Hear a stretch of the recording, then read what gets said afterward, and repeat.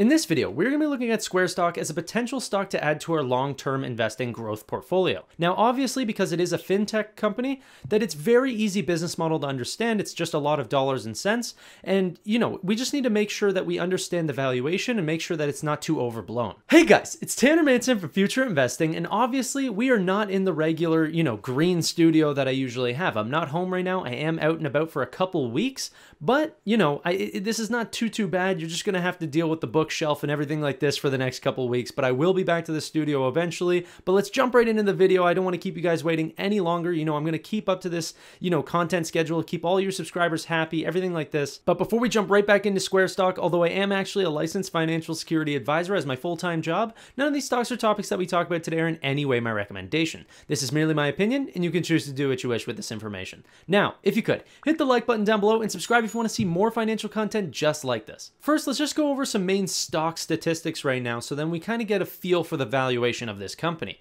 First off, Square is trading at about $250 a share, or as you should better put it, about $116 billion market cap. That's all the shares added up together, or, you know, the proper valuation of the company. But whenever we look at it in terms of how much money they're actually making, how much profit they're making, they're at a price to earnings ratio of about 230 times. So that's trailing P ratio. Forward P ratio is about 107 times. So obviously, Square stock is expecting explosive growth because people are valuing it so high right now.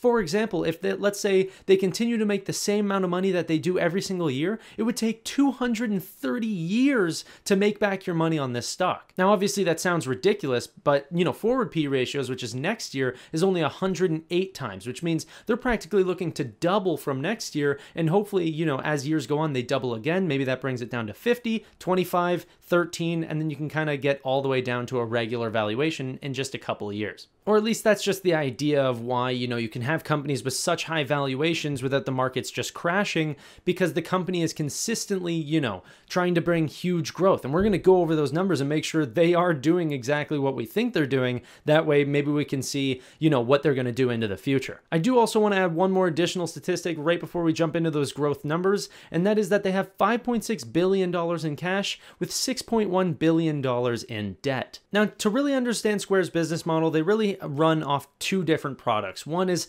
Square's Cash App, and then the other one is their seller ecosystem. Now, firstly, with Cash App, really their service is that they allow people to put money into their, you know, their platform, the Cash App platform, and then they can transact money like or send money and transfer money to other peers that also have this app. This service also comes with zero delays, absolutely free transactions, and no account minimums. It also has huge layers of security behind it, so instead of you having to give like your email address to somebody like a stranger that might want to pay you for something that you have right then and there, you only have to give them your secure cash sign and then they can just send you that amount of money without them needing to get any of your personal information. And Cash App, like I said, is a freemium service, but there's a lot of ways that they can make money through either charging businesses or merchants that accept Cash App or these sorts of things without actually charging, you know, the direct consumer. And there are some actual premium services on there that, you know, they do accept either service or subscription revenue, but it's it's small compared to the amount of revenue that they get from their actual businesses. Now, Square is quite unique in the way that they show two-year compounded annual growth rates right now. This is important because obviously this shows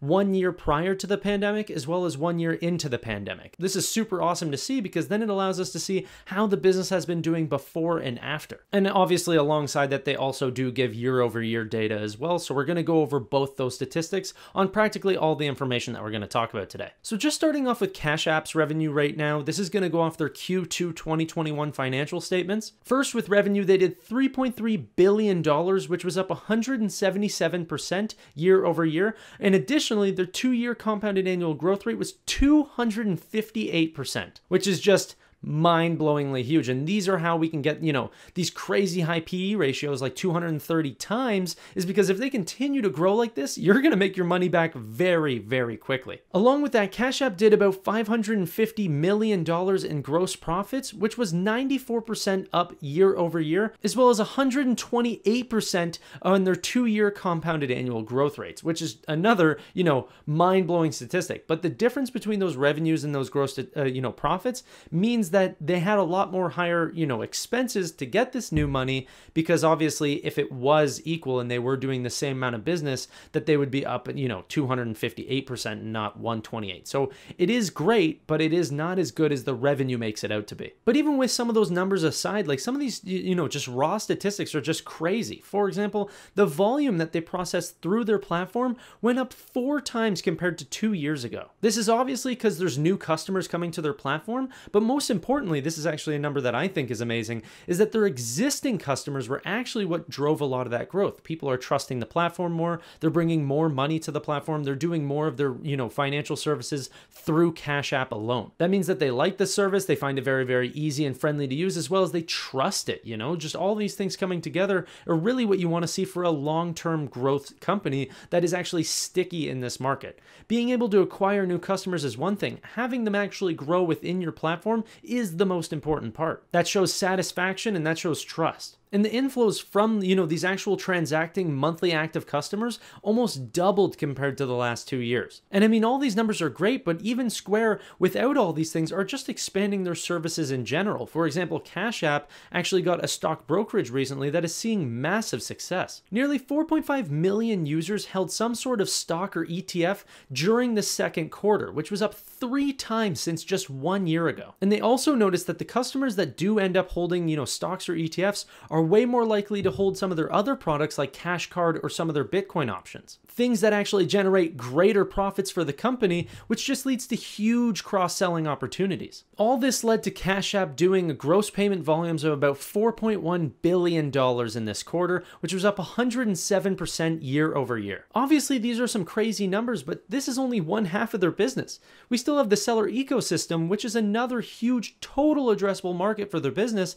that they are taking over. And let's go over some of those numbers. It's quite, you know, spectacular. The seller platform was once created just to be able to take payments, whether you're in person or online, for small retail businesses. It was very quick and very secure for small businesses to use. And they also did amazing advertising, like giving out those chip readers for absolutely free for people to, you know, tap their cards on and these sorts of things, which allowed them to grow their business so fast. But that's only what they started out with with. They've now expanded into a full variety of products. That's why they call it the seller ecosystem. Now they have products like Square Savings, where instead of actually just transacting with this business and the money going to either PayPal or some other, you know, uh, financial institution, it goes directly to Square's actual savings and checking accounts, which actually have, you know, real transit and real routing numbers. The businesses can also get like actual Square debit cards that they can pay for expenses, as well as actually pay employees through their Square payroll. All the accounts are FDIC insured and as legit as it could possibly get. And that word ecosystem is really important, okay? Because whenever you offer a service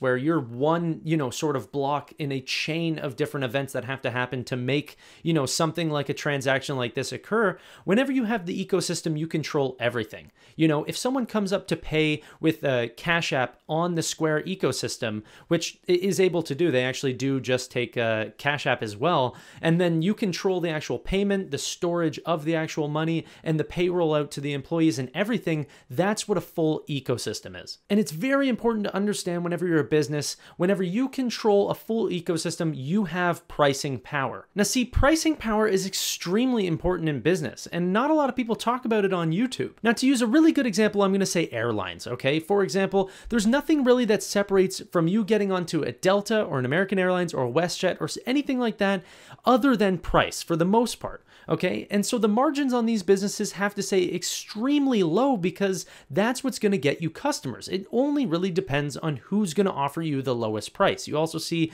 problems like this arising with things like Lyft or Uber. There's not a whole lot of actual, uh, you know, pricing power available because people just choose the cheapest option. Some people even have both apps on their phone and they double check the prices before they go, you know, to any destination. Now, this is where ecosystems become so, so important because whenever you own every single step to a certain transaction, you choose the price of the actual product, right? If you own from the top to, you know, the, the financial actual transaction software to then actually holding the money, giving the certain interest rates on that money, everything like that, you set the bottom line. Okay, so that means that you set the profit margins at 30%. You make it seem like this is the regular amount. For example, Apple does that. They have amazing pricing power and they set their app, like for every dollar that's made on the App Store, you know, Apple takes about 30% of that.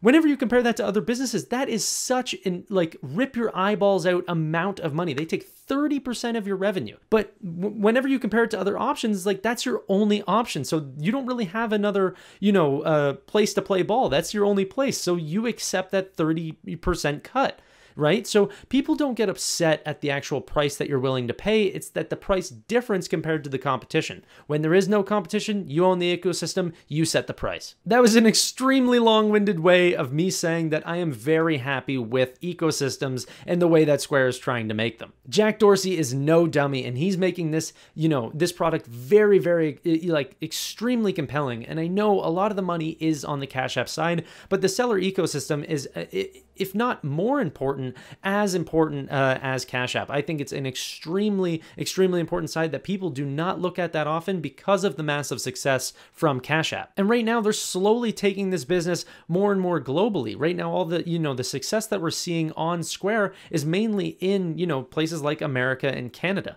Now, actually, just, just recently, they just announced that they're going to be spreading in actual beta to like Spanish speaking businesses.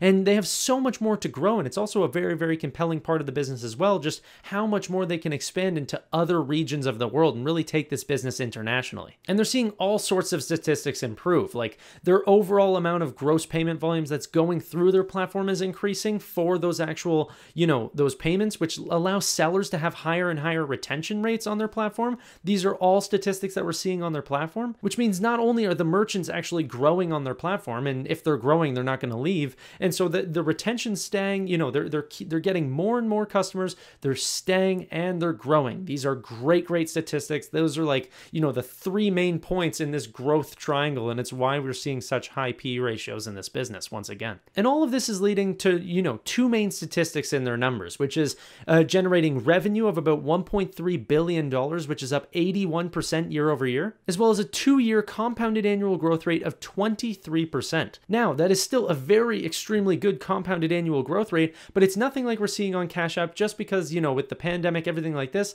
there's not a whole lot of retail business, but it does not mean that it's not an extremely important part of their business. Plus, I mean, 81% year over year growth is nothing to scoff at either. But let's go into gross profits, for example. With gross profits, we saw about $580 million, which is up 85% year over year, which also led to a two year compounded annual growth rates of 30%, which is still nothing to scoff at at all. You know, most businesses that I try to invest in, I'm trying to get those types of numbers, which just tells you sort of how much Cash App is actually growing in these mind-boggling compounded annual growth rates. I mean, this this app is just taking over and even their seller ecosystem is not doing bad at all either. Like these are really the two main pillars of the business and they're doing both excellently. So, let's take all those numbers that we got from their Cash App as well as their seller ecosystem, combine it all up with all their additional subsidiaries subsidiaries. We'll talk about the rest of the additional news, and let's get a full picture of these numbers. Total net revenue was just shy of $4.7 billion, which was actually up 143% year over year. Gross profits were about $1.1 billion, up 91% year over year, which in total throughout both of their businesses, they transacted about 42.8 billion dollars in gross payment volume. That was up 88% year over year. Let me just point out one more cool statistic, although not extreme extreme, but it's still very very cool to see, is that whenever we're seeing gross payment volumes of like up 88%, where gross profits are up 91%, that difference should actually be the same, but what they're doing is they're actually getting better at making more money out of the money that's actually getting paid to them, which is an amazing statistic. We don't want to see red numbers where that's actually going down. It's good to see that we're actually making making more money on the money that we're actually transacting. Another sort of like green check mark on Square's ability to hold up, you know, a P ratio that is quite this high. Now, there's two main acquisitions that actually are happening within this quarter. One actually closed, uh, you know, in this second quarter right now, which was Tidal, which is the, you know, the online music service. I think it's a great acquisition. I think, you know, they're trying to bring a lot of like, you know, real uh, seller ecosystems to a lot of these small business owners, but now they're trying to do this quite the same thing to music producers and sort of the business side of this, you know, whole huge music industry. Bringing what Square knows about the fintech industry and bringing that over to, you know, the actual music industry, this can lead to a whole lot of new artists and producers and everything wanting to bring their business over to Square because they might be making more money over there. And you know what? Whenever that happens, that's what's going to bring new customers. Whenever someone like Drake or something signs an exclusive deal with Tidal to produce his music there because they might offer him some higher amount of money or higher interest rates or something like this on the, you know, the sort of production that he could get there. These sorts of things are, are what changes a business like Tidal, and it's what, you know, Jack Dorsey sees in Tidal itself. Now, the second one is actually rubbing me a little bit the wrong way. This is Afterpay Limited, okay? They're a buy now, pay later service that, you know, they acquired for nearly $29 billion, which I think is just absolutely ridiculous to buy for something that this service that, you know, Square could have made their own version of this software. I think that they, you know, they, there's a lot of data that's coming with this, and it's not purely that they just didn't want to do the work. I mean, obviously, I'm not that ignorant to think that, you know, there isn't other things coming with this service, but $29 billion is just a huge, huge price to pay for something of this, you know, quality of business. But I mean, what's the consensus here? I'm sure all you guys want to know. Currently, I do not hold Square stock, okay? I do actually think that there is a huge opportunity here, but with this, you know, price to earnings ratio, it might just be a little too risky for me at this current moment whenever there's other stocks like Skillz or Corsair or something like this where I can pour my money into and just feel a little bit more confident on these types of purchases. I mean, I only have so much liquidity, right? So my ability to purchase is not just limited to me purchasing whatever I think could potentially be a good stock. I do need, you know, like the best deals. And right now, I think it, it actually goes elsewhere. And I mean, there's also other things that scare me, like the 9% short interest on this company. That's massive for the size of the business, as well as also other things like their share dilution. It is quite big. And Jack Dorsey has only said it's going to go one way, and that's up because they want to, you know, attract more talent to the business and everything like that. It's actually going to increase over time. Anyways, that's all for me today, guys. If you guys like the video, I really do appreciate you guys giving a thumbs up and subscribe down below if you want to see more financial content just like this. That's all for me today. If you stuck around this long, I really do appreciate it. Hope you guys stay safe trading, and I'll see you guys on the next one. Bye for now.